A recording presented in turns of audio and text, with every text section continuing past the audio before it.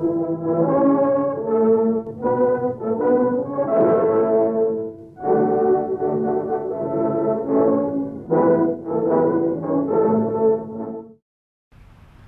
chào quý vị, các đồng chí và các bạn đang theo dõi chuyên mục An ninh Đà Nẵng. Chương trình tuần này có những nội dung đáng chú ý sau đây.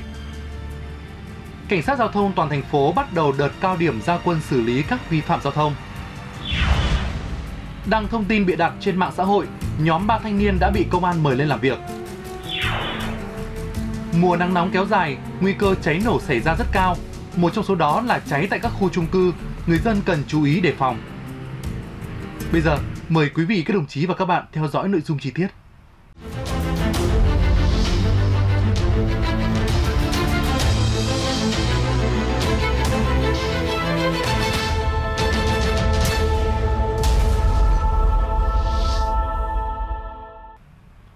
Quý vị và các bạn, ngày 24 tháng 4, đoàn đại biểu Sở Cảnh sát thành phố Daegu, Hàn Quốc do Trung tướng Lee Cheong-gu, Giám đốc Cảnh sát thành phố Daegu làm trưởng đoàn đã đến thăm và làm việc với Công an thành phố Đà Nẵng. Tại buổi tiếp, Thiếu tướng Vũ Xuân Viên, Giám đốc Công an thành phố Đà Nẵng đánh giá cao mối quan hệ hợp tác, trao đổi kinh nghiệm giữa Công an thành phố Daegu và Công an thành phố Đà Nẵng từ trước đến nay.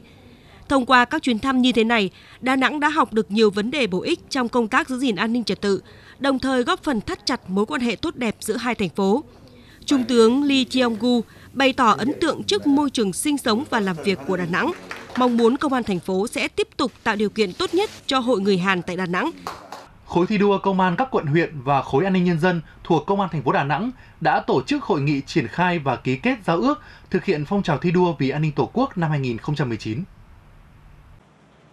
Các đơn vị đã chủ động đăng ký chỉ tiêu trong công tác thi đua vì an ninh Tổ quốc, phấn đấu kiềm chế, làm giảm các loại tội phạm, công tác điều tra khám phá án nghiêm trọng và đặc biệt nghiêm trọng đạt tỷ lệ 100%. Đây cũng là dịp để các đơn vị trong các khối thi đua nhìn nhận thực lực hiệu quả công tác đảm bảo an ninh chính trị, trật tự an toàn xã hội của đơn vị mình, từ đó có những tiêu chí phù hợp, góp phần đấu tranh trấn áp kịp thời các loại tội phạm, phục vụ yêu cầu xây dựng và phát triển kinh tế xã hội của thành phố. Ngày 24 tháng 4, chính quyền và công an quận Ngũ Hành Sơn đã tổ chức buổi đối thoại với người bị phạt tù tái hòa nhập cộng đồng. Buổi đối thoại đã nhận được rất nhiều tâm tư, nguyện vọng của những người hoàn lương. Để giúp người bị phạt tù về địa phương tái hòa nhập cộng đồng, góp phần ổn định trật tự xã hội, rất cần các cơ quan doanh nghiệp, tổ chức xã hội xóa bỏ định kiến, kỳ thị, tạo điều kiện cho họ học nghề, vay vốn và tiếp cận việc làm, qua đó hạn chế tình trạng tái phạm tội. Công an thành phố vừa tổ chức Ngày hội hiến máu tình nguyện năm 2019 với thông điệp Hiến máu cứu người, một nghĩa cử cao đẹp, đã thu hút được hơn 500 đoàn viên thanh niên tham gia. Đây là chương trình thường niên của Công an thành phố, thể hiện tinh thần tương thân tương ái, chung sức cùng cộng đồng, xây dựng hình ảnh tuổi trẻ công an nhân dân vì nhân dân phục vụ. Ngày hội đã thu được gần 600 đơn vị máu, đảm bảo chất lượng, đóng góp vào ngân hàng máu sống của thành phố, phục vụ cho nhu cầu khám chữa bệnh của người dân. Thưa quý vị và các bạn, trước thực tế tình hình trật tự an toàn giao thông diễn ra phức tạp trong quý 1 năm 2019, số người chết và bị thương tăng so với cùng kỳ năm 2018. Công an thành phố đã phát động gia quân đợt cao điểm đảm bảo trật tự an toàn giao thông trên địa bàn bắt đầu từ ngày 23 tháng 4.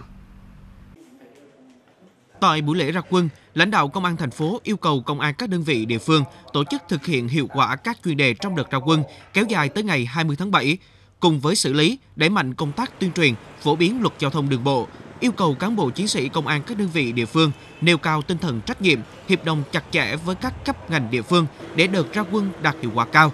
Ngay sau lễ ra quân, lực lượng giao thông toàn thành phố đã triển khai nhiệm vụ. Lực lượng cảnh sát giao thông công an thành phố đã huy động tối đa lực lượng, phương tiện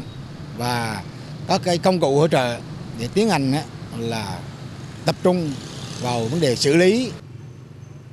một trong số những chuyên đề mà lực lượng cảnh sát giao thông tăng cường xử lý trong giai đoạn này đó là tình trạng xe lôi xe kéo, lưu thông tiềm ẩn nhiều nguy cơ gây tai nạn giao thông. Tính đến giữa tháng 4, toàn thành phố đã tiến hành lập biên bản xử phạt hơn 50 trường hợp và nhắc nhở hàng chục trường hợp khác. Cái hàng mà công kênh là mình không chở gọn gọn thì mình có sẽ chở, còn công kênh thì mình nên tặng đôi khi có sợ nguy hiểm cho mình phải còn người ngoài người những người đi đường như mình nữa.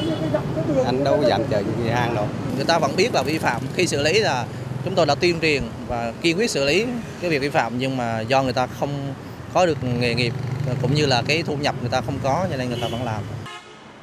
Ngoài việc tăng cường xử lý, lực lượng cảnh sát giao thông các cấp kỳ vọng mỗi người dân khi tham gia giao thông cần phải có ý thức để tránh không gây nguy hiểm đến tính mạng cho bản thân và cho cả người khác, không để xảy ra những hậu quả đau lòng, nhất là trong dịp lễ này.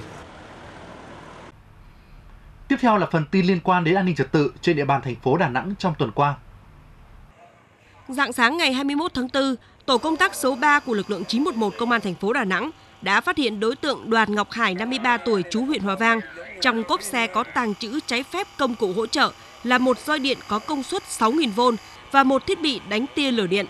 Làm việc với cơ quan công an, Hải khai nhận mua roi điện từ một người bạn với mục đích phòng thân. Đáng nói hơn, công suất của roi điện trên rất lớn, có khả năng sát thương cao. Cơ quan Cảnh sát điều tra Công an quận Cẩm Lệ đã tống đạt quyết định khởi tố vụ án khởi tố bị can, bắt tạm giam đối với Hồ Anh Tuấn, 25 tuổi, chú huyện Duy Xuyên, tỉnh Quảng Nam với hành vi vi phạm quy định về tham gia giao thông đường bộ. Trước đó, sáng ngày 13 tháng 3, Tuấn điều khiển xe ô tô bán tải chạy trên đường Trường Trinh. Khi đến trước số nhà 729 đường Trường Trinh thuộc phường Hòa Phát, quận Cẩm Lệ, chiếc xe đâm vào anh Trần Cảnh Toàn, 23 tuổi, quê tỉnh Đắk Lắk đang đứng bên đường nghe điện thoại. Hậu quả anh Toàn tử vong tại chỗ. Qua thử test, Tuấn dương tính với chất ma túy. Tòa án Nhân dân quận Sơn Trà đã tuyên phạt nhóm bị cáo cùng trú phường Nại Hiên Đông, quận Sơn Trà, gồm Trần Văn Hải một năm tù, Trần Minh Thuận, Trần Minh Vui, Nguyễn Văn Lộc cùng bức án 9 tháng tù về hành vi chống người thi hành công vụ. Đêm ngày 16 tháng 4, tại chung cư C2 phường Nại Hiên Đông, nhóm của bốn bị cáo và nhiều thanh niên khác tổ chức ăn nhậu, hát karaoke gây mất trật tự tại khu vực. Nhận được tin báo của người dân, lực lượng 8394 phường Nại Hiên Đông do thiếu úy Nguyễn Quốc Huy làm tổ trưởng đã có mặt tại hiện trường để giải quyết. Tuy nhiên, nhóm này không hợp tác, còn tấn công lực lượng làm nhiệm vụ. Thưa quý vị và các bạn, số liệu từ chương trình đánh giá về an ninh mạng của BKAV cho thấy có 63% người dùng ở Việt Nam thường xuyên đọc tin tức giả mạo trên Facebook, trong đó có 40% là nạn nhân hàng ngày. Nếu như ở tuần trước, chúng tôi từng phản ánh đến mặt trái của mạng xã hội là những vụ việc lừa đảo chiếm đoạt tài sản, thì hôm nay tiếp tục là vấn đề đáng quan tâm. Đó là dùng mạng xã hội đăng tải thông tin bịa đặt, sai sự thật, gây hoang mang dư luận xã hội. Tháng 4 năm 2019, trên Facebook xuất hiện thông tin từ một trang cá nhân có nội dung một quốc gia khác đã lấy thịt người làm thịt bò khô và chuyển số hàng này qua Việt Nam.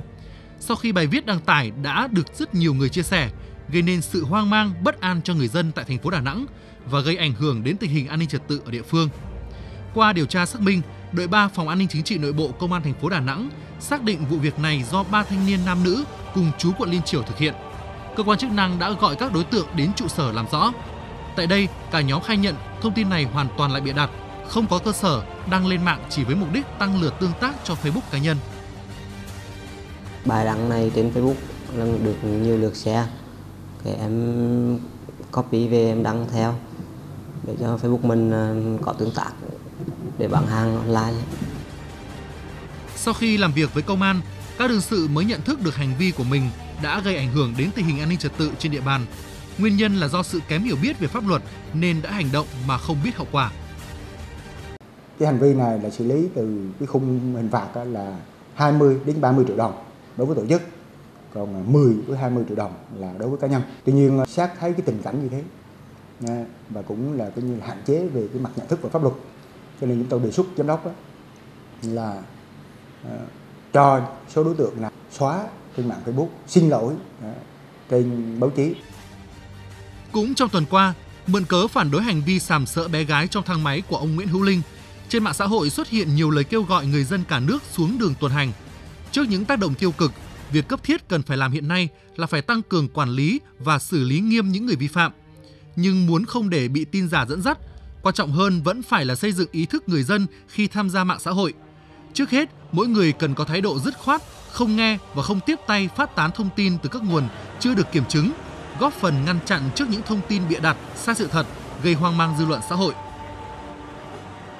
Thưa quý vị và các bạn, thời gian gần đây trên địa bàn cả nước và thành phố Đà Nẵng xảy ra một số vụ cháy trung cư. Tuy những vụ cháy này chưa gây thiệt hại về người, nhưng lại một lần nữa gióng lên hồi chuông cảnh báo về giải pháp phòng cháy chữa cháy tại các khu chung cư trên địa bàn thành phố. Ghi nhận của phóng viên truyền hình An ninh Đà Nẵng.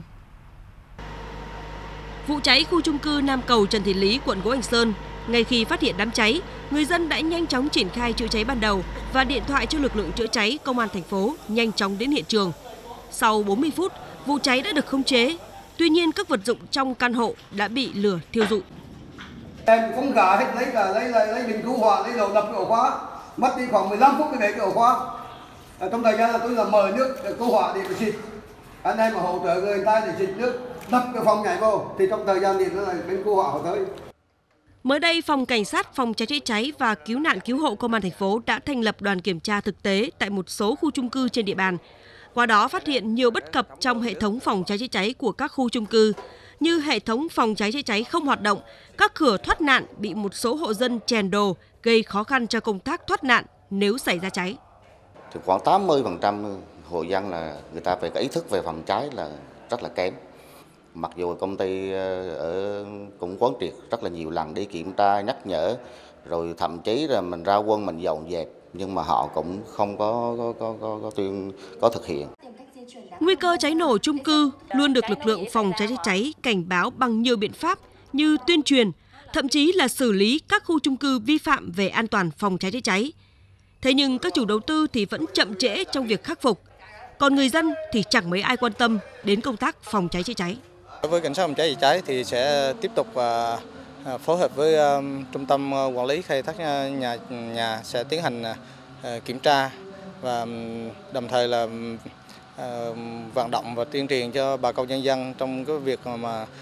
tự đảm bảo công tác phòng cháy chữa cháy tại cái nơi sinh sống của mình. Vụ cháy tại chung cư Carina ở thành phố Hồ Chí Minh khiến 13 người tử vong, luôn là bài học đau đớn, là sự cảnh tỉnh đối với công tác phòng cháy chữa cháy tại các chung cư. Bên cạnh việc tăng cường công tác thanh kiểm tra của các lực lượng chức năng, thì ý thức của người dân trong công tác phòng cháy chữa cháy luôn là điều quan trọng nhất, giúp hạn chế tối đa thiệt hại do cháy nổ xảy ra. Thưa quý vị và các bạn, tuần qua, Công an thành phố Đà Nẵng nhận được thư của ông Nguyễn Đăng Đô, 60 tuổi, chú quận Sơn Trà, gửi đến đội cảnh sát phòng cháy chữa cháy và cứu hộ cứu nạn công an quận Liên triều vì đã cứu sống con trai của ông là Nguyễn Đăng Hải, 21 tuổi, bị trượt té xuống vực sâu 100 m trên đèo Hải Vân. Nhờ vào cuộc kịp thời, con trai ông đã được đưa đến bệnh viện cứu chữa. Đến nay, tình hình sức khỏe của anh Hải đã ổn định. Trong thư, ông Đô gửi lời cảm ơn sâu sắc đến nghĩa cử, hành động vô cùng cao đẹp của cán bộ chiến sĩ đơn vị. Đến đây, chuyên mục An ninh Đà Nẵng tuần này cũng xin được kết thúc. Cảm ơn quý vị, các đồng chí và các bạn đã quan tâm theo dõi. Thân ái chào tạm biệt.